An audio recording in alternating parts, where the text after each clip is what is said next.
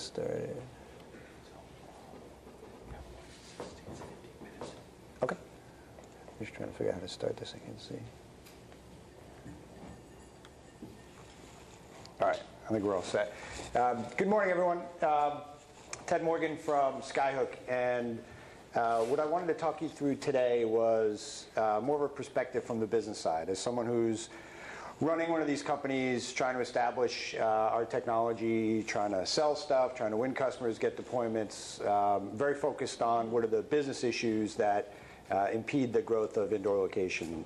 As Kaveh said, there's, there's literally 20 newish companies out there today focused on indoor location technologies, and there's probably been uh, 20 over the last 10 years that have, that have uh, embarked on this as well, and they've all, you know, suffered some uh, growth and um, adoption issues. And part of that's the technology and, and technology uh, maturation, uh, but a good part of it is some of the business resistance to this. And I think uh, what we're trying to do, and I'll certainly talk through here, is at least eliminate those uh, some of those business hurdles so that everyone can compete purely on the technology side uh, and not have some of these artificial challenges to it.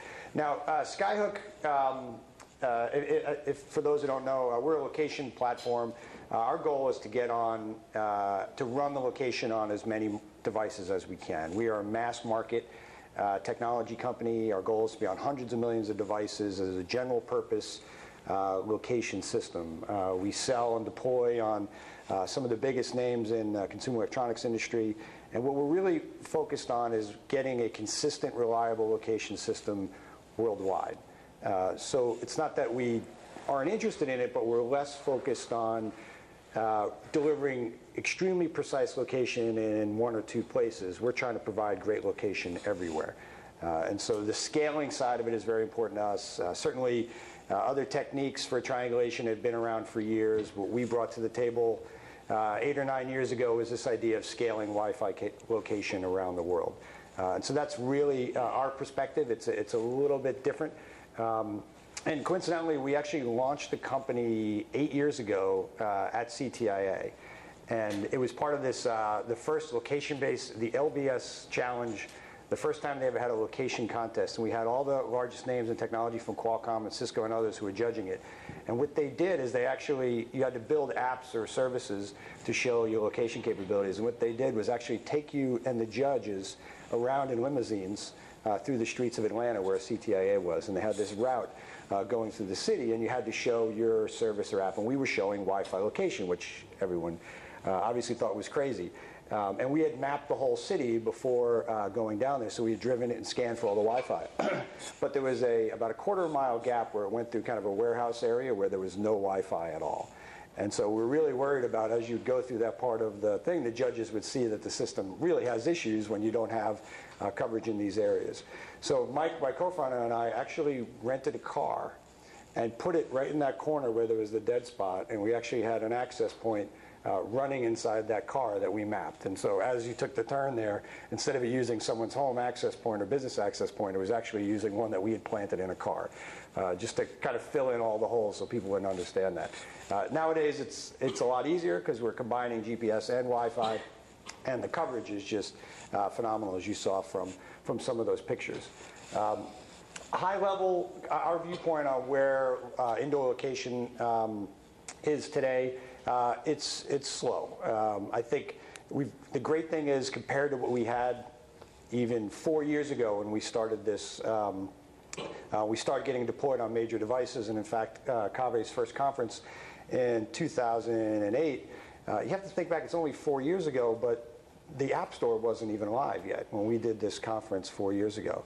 And so the whole idea of uh, individuals getting comfortable with using location in a variety of ways just didn't exist yet. It had been some navigation apps, it had been feature phones, but it really hadn't embarked upon what we've seen today where there's literally tens of thousands of apps that use location. And what that's done is it's really conditioned uh, consumers into understanding that their location can be detected and all the great ideas they have. And consumers are executives of big companies, are people who own retail stores, and so they all now start to get a better understanding. You know, four years ago, we were talking about deploying location into some of these areas. It was, it was a different concept for business folks. Now they use their Android or their, uh, their Android phone or their iPhone all throughout the day, so they really start to expect this. So you get a much easier conversation.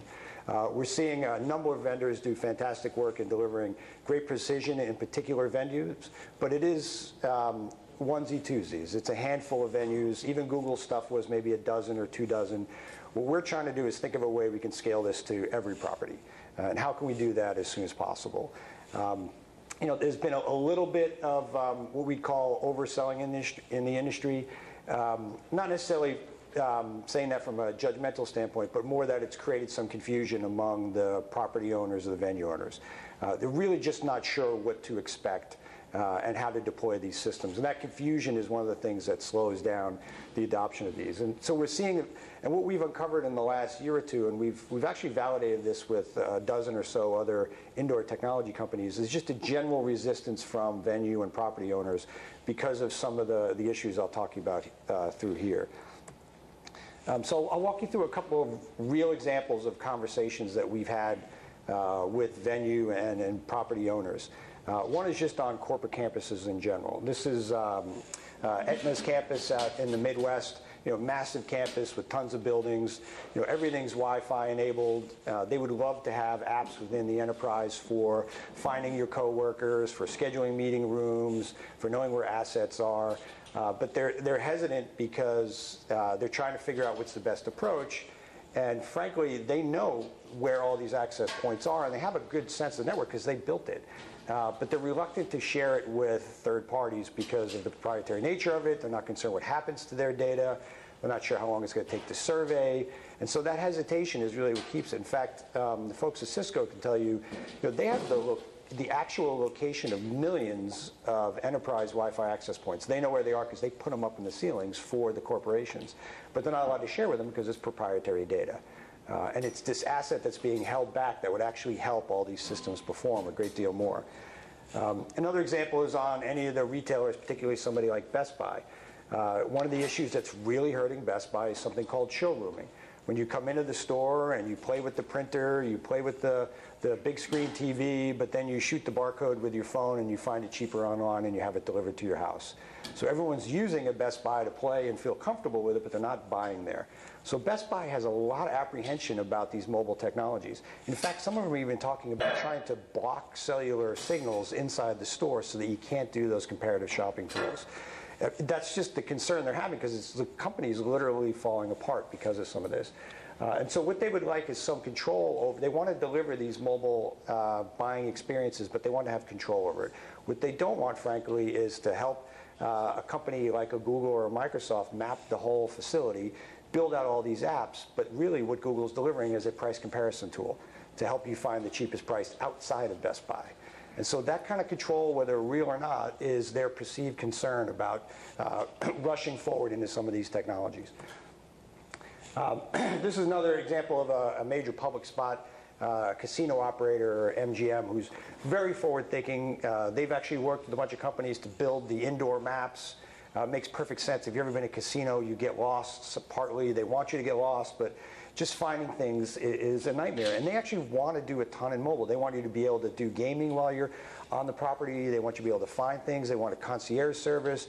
They want to do tons of things to extract more money out of you as a casino attendee. Uh, but what they're worried about is working with another company that then makes money on their own. And they want every nickel that's spent in that casino to somehow be coming back to them or to participate in it. So if they're going to let you go in there and do a site survey throughout there, they're going to want some arrangement where they get a piece of the action. Um, and I think they're working on those one-off, but that slows it down when you have to negotiate with each individual venue some agreement as to who owns the data. Uh, the last one here in this set is Simon Properties. Uh, they run all the major malls uh, around the U.S., the largest mall operator, and very, very advanced in terms of and innovative in trying to deploy new technologies. Uh, they really I've done a bunch of, of great projects, and I think a, a, number of you have been working with them on helping it easier to find your way through the stores and do promotions. Uh, but they have, a, they have a concern about getting locked into a particular vendor. What's it going to take to do these site surveys? What if this vendor's technology isn't the best or I get tied up with it? What's my control over it? And so they've, you know, they've tried a couple of these projects, but you don't see them going full tilt across the board. They've done some hardware solutions. Now I've got these hardware boxes all over the place. Uh, these are the things that slow down widespread adoption. So we'll continue to get you know, dozens of venues, but what we want to do is have the venues and the property owners contributing this data because it benefits them right out of the, right out of the box. Um, and that's some of the, the, the, things we've heard consistently across the board um, and something we want to try and help. Uh, so the real uh, impediments we've seen purely from the business side, having nothing to do with the technology solution or performance, is them looking at the time and the cost of doing a site survey and what's the approach I should take here, and what does it really entail to get down to the kind of accuracy they want. And then as I have that, what do I have to do on an ongoing basis? You know, do I have to maintain hardware? Do I have to re-site survey? You know, all these kind of things are confusing to folks. And then when I do that, this other company has my data. And if I have a good relationship with them, I can control it. But if it's a big uh, general market, uh, general purpose company like a Skyhook or a Google, you know, what happens to this data and who can use it? That's a real concern. And then lastly is just education over understanding what's really possible, what it really entails, what can I do with this data. You know, I think it, it, reminds me a lot of this picture of parents on Christmas Eve when you're trying to put together those crazy toys for your kids. You really want to do it, you're really trying, but it's so damn confusing and it's so frustrating. And that's the sense we get from venue owners is they really want to do this, but they can't get a sense of what the clear path is. So one of the things uh, we've been working with, right now it's about 15 other companies, and I think it can be 20 plus, uh, a number of you are here as well, um, is a way to try and alleviate some of these concerns for the property owners and put them more in control. And so the idea here is purely to give venue owners that kind of peace of mind and control over what happens and encourage them to proactively looking at ways to share their data, to roll out these apps so that we can accelerate the adoption, which would, we believe would benefit uh, all of us. Um, this uh, industry initiative has nothing to do with the core technology side of it. It doesn't make judgments about different techniques or different radio signals. It has nothing to do about accuracy. It's purely about how can we address some of those business concerns uh, that the venues have. And so what we've done is we're working with a couple of the chairs at the IETF um, in this actual uh, GeoPriv working group uh, that are reviewing a draft specification that these 15 companies are all actually collaborating on today uh, as a way to address some of these. And there's really two elements to it. Uh, one is really just a data format standard, a data exchange standard. So the, the, the data collection that happens can happen in a variety of ways. You can know where your access points are and just say, here's the list. You could do a detailed site survey. You could measure all the types of signals.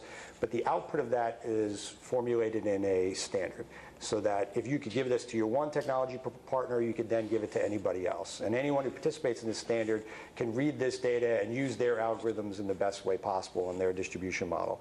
Uh, and so all of this, what it does is if I work with a vendor, I'm not locked into them. And that's, you know, obviously we're all trying to lock in our customers, but this is one area that concerns them. So if I roll out this uh, with a particular vendor, I can output the data and then I can do whatever I want with it.